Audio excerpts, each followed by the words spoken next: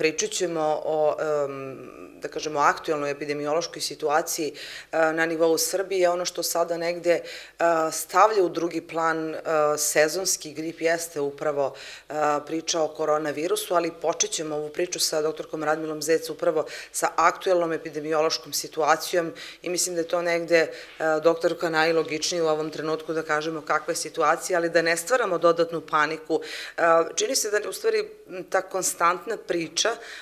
o, o, o tim aktuelnostima koje su vezane za zdravlje i epidemiološku situaciju mogu da stvore jednu ne samo blagu paniku kod običnog sveta, već i kod samih stručnjaka, morate priznati. Pa svakako, informacije moraju biti pravovremene, konkretne, tačne, međutim i sami smo svesni da putem društvenih mreža i uh, interneta mogu da se čitaju svakakve priče i da to dodatno podigne ovaj, paniku i strah kod ljudi. Međutim, uh, kada pričamo o koronavirusu u poređenju sa virusom gripa, izvesno je da jako nije iz iste grupe, a, to je druga familija virusa, virus gripa je virus influence, a koronavirus je sasvim neke druge, međutim slični su simptomi i respiratorno oboljenje koje se kaplično prenosi, a, znači na udaljenosti od 1,5 metar kapljice mogu kod svih ljudi, kod svih respiratornih oboljenja, pa i ovog, da se prenesu u prostori u zatvorenom prostoru, tako da je poenta da svi koji su bolesni, bilo od koje respiratorne, sad pričamo uopšte o tim preventivnim merama koje su u ovom trenutku i najvažnije, da kijaju i kašljaju, kašlju u maramicu ili ovaj, da iza toga odmah operu ruke, da češće peru ruke, a, priča se i o nošenju maski na otvorenom prostoru,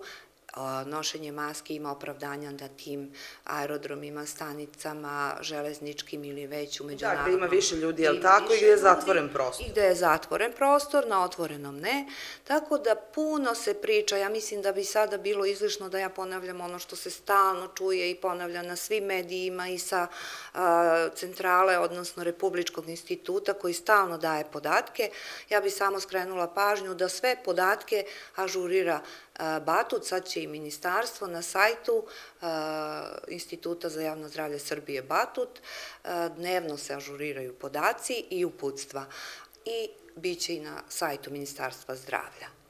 Uh, ono što je negde važno da gledalci čuju je koliko smo mi negde spremni. Pretpostavljam da je to pitanje koje slušate danima, mediji vas verovatno negde u kontinuitetu pitaju. Koliko su zdravstvene institucije, bez obzira na sve preporuke koje je dobio i Zavod za javno zdravlje i primarni nivo i sekundarni nivo zdravstvene zaštite, koliko smo mi spremni da kažemo za neku ozbiljniju situaciju. Neminovno je da migracije stanovništva u stvari uh, nam i donose I je li neminovnost da će i korona stići u, u Srbiju?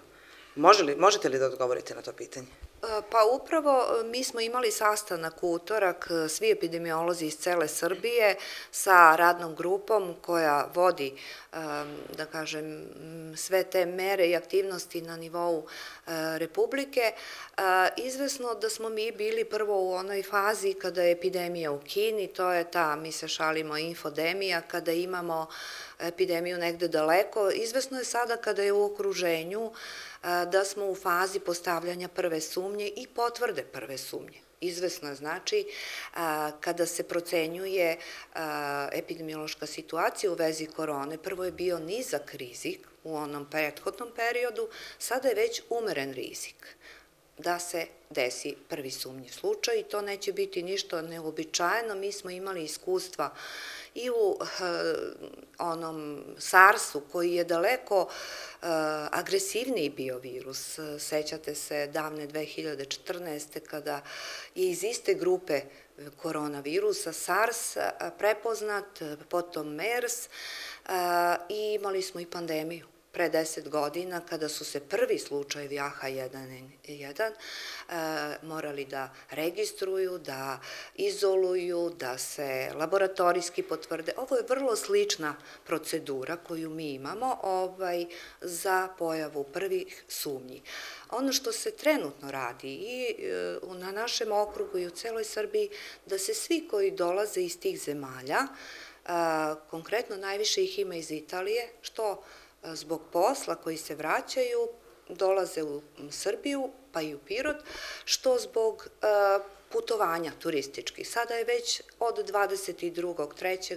i obustavljeno, mislim, preporuka je da se ne putuje u, te, u te zemlje koje Ali su nije, na spisku. ne znači da je zabranjeno, je li tako? Nije zabranjeno, preporuka je. A, međutim, a, imamo obavezu da te ljude, a, da stupimo u kontakt, da se nama u zavodu jave, evo prilike da ih pozovemo, da se što kažu ono, stavlja pod zdravstveni nadzor.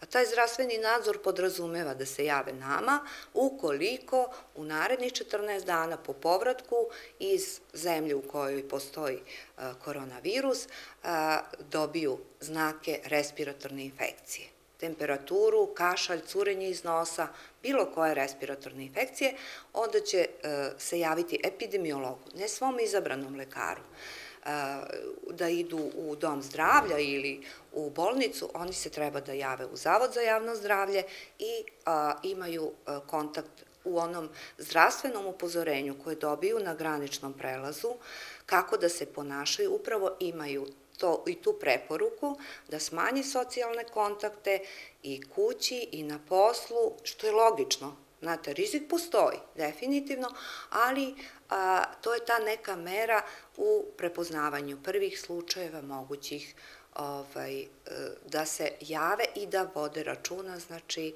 o tim kontaktima, da što manje kontakta ostvare. Da li postoji, da kažemo sada možda i pojačana mera kontrole na graničnim prelazima? E, znamo za aerodrome, to je potpuno logično, ali e, i koliko u stvari Zavod prati ono što se dešava, pošto imamo granični prelaz blizu, migracija stanovništva je neminovna.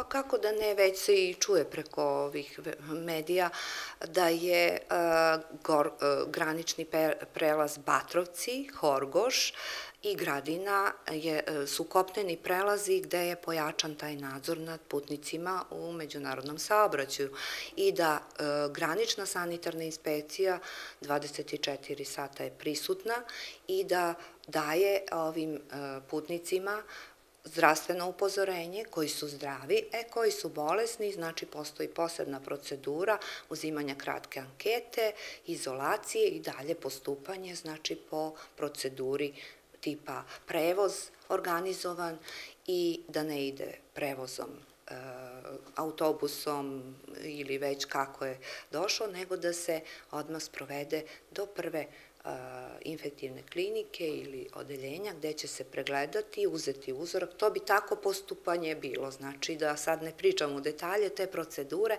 ali to se zna. Da li to važi isto i za, da kažemo, teritoriju grada? Rekli ste malo čas. Kakva je procedura kada neko posumnja da, da, da ima simptome? Treba da se javi epidemiologu, pa onda već kako je, kakvi su u stvari koraci kada je primarna zdravstvena zaštita, kada je sekundarna zdravstvena zaštita i koliko su institucije, u stvari zdravstvene institucije spremne, da kažemo, možda za neku ozbiljniju. Ajmo da da je tako nazovemo. Pa da kažem, mi smo još pre mesec dana Zavod kao koordinator dobili SOP-ove, stručno-operativne procedure ili algoritme za slučaj postupanja kada se javi u zdravstvenu ustanovu, kada se javi na graničnu prelazu, kada se javi epidemiolog za sprovođenje zdravstvenog nadzora, svi su obavešteni i naša opšta bolnica i domovi zdravlja u okrugu, svi imaju te procedure i svi su spremni da reaguju ko koga zove, znači ta koordinacija, kako će se postupati, to nije ništa novo, mi smo radili kod Sarsa, imali smo sumnjiv slučaj, ako se sećate iz Toronta, koji je odbačen kao sumnjiv, znači jasne definicije su date od strane Batuta da e, se postavi sumnja i tek onda se uzorkuje i šalje i mislim to će biti nešto što je, ako bude, ovaj, već nama poznato i uvežbana jedna procedura. Da zaokružimo ovu priču, pričamo o sezonskom gripu. Ovih dana i nismo mnogo pričali o tome upravo zbog toga što je ova, da kažemo, aktuel, ova tema aktuelnija uh, i negde potpuno opravdano da bi se dale sve precizne mere koje propisuje država. Kakva je epidemiološka situacija? Da li se smanjuje broj obolelih od gripa? Čini se, imali smo onaj vrh talasa, vi ste tada i napomenuli da u naredne 3 do 4 nedelje možete, uh, možemo u stvari očekivati pad broja obolelih. Pa vrh epidemijskog talasa je bio u zadnjoj nedelji januara i u prvoj nedelji februara, kada smo registrovali nedeljno 1500 pa 1200 i onda postepeno za 30 do 40% se broj smanjuje iz nedelje u nedelju što je i očekivano. Znači, prosto imamo jedan baš epidemijski talas e, sa visokim pikom. E, nije bila razvučena ove godine epidemija, nego je bila baš onako odjednom veliki broj obolelih u petoj, šestoj nedelji i onda naglo i pada broj. Da kažem, nekada je ta epidemijska kriva, odnosno epidemijski proces sezonskog gripa razvučenija. Razvuče se na više nedelja. Sada imamo do pad kao što smo imali u drugoj, trećoj nedelji januara, e, već je pao broj obolelih na nivou okruga u prošloj nedelji na 400. Da, to je značajno smanjenje, da, morate da, priznati. Na nedeljnom nivou, znači na okrugu. I ovaj, sad smo u devetoj kalendarskoj nedelji, vidjet ćemo rezultate za ovu nedelju, ali svakako da je jenjava grip i da je dosta dalo rezultate i ovo produžetak e, školskog raspusta. Nikad dovoljno vremena za priču, ali hvala vam na ovim preciznim informacijama. Naravno, mi ćemo i dalje pratiti sve ono što radi Zavod za javno zdravlje. Hvala i vama i vidimo se.